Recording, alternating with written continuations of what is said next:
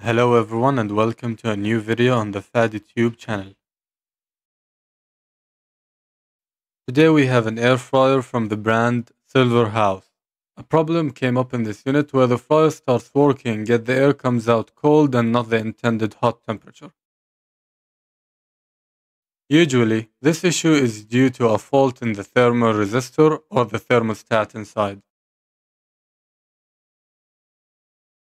Before working on the air fryer, make sure you unplug the unit from any voltage source.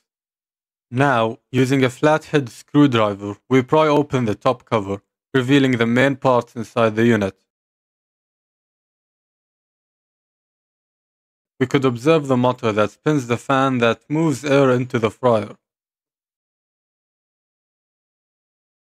We could also observe two screws that are connected to the thermal resistance.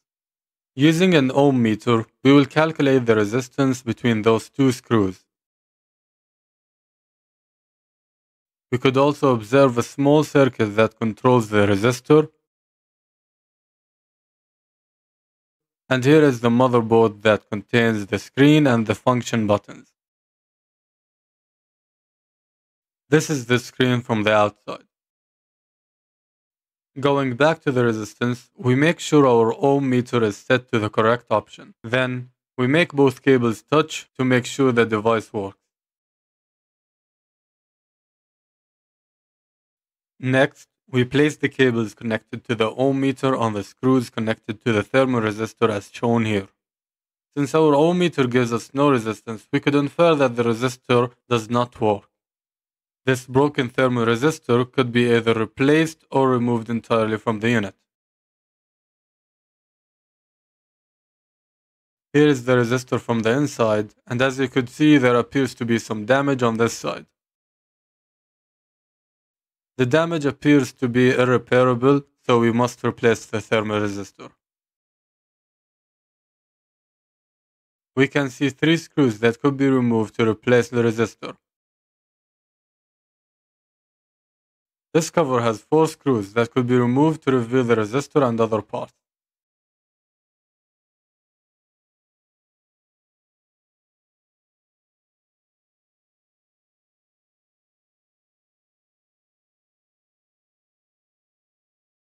We previously removed the wires connected to the thermal resistor.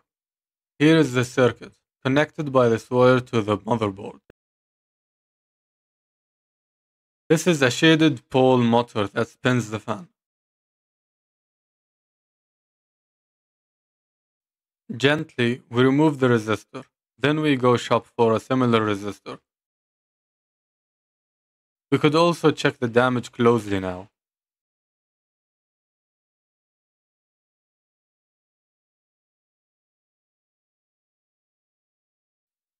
And that's all for today's video. Thank you for watching. This was Fadi Haddad.